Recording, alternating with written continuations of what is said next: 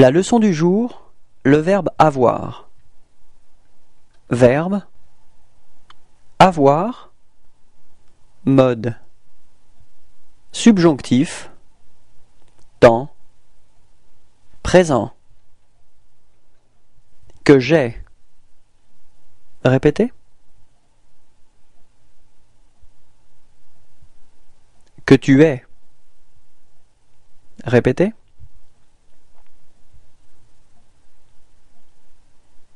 qu'il est.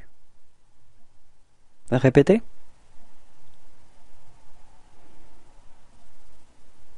Que nous ayons. Répétez. Que vous ayez. Répétez. Qu'ils aient. Répétez